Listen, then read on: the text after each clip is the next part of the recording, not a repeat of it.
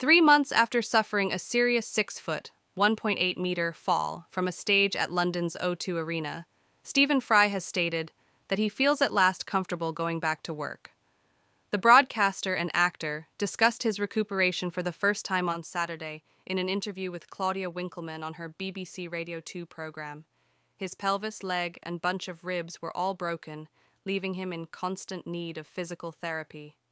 However, he'll soon return to television as the host of Jeopardy in the UK. After trying to leave the stage after an AI lecture at the O2 Arena in Greenwich, southeast London, in September, Fry fell six feet onto concrete.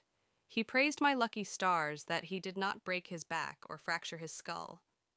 In an interview with Winkleman regarding his new ITV game show Jeopardy, which is already well liked in the US, he said it had been an exciting week because he had flown to Zurich for an event and, for the first time since his fall, had not needed to use his walking stick.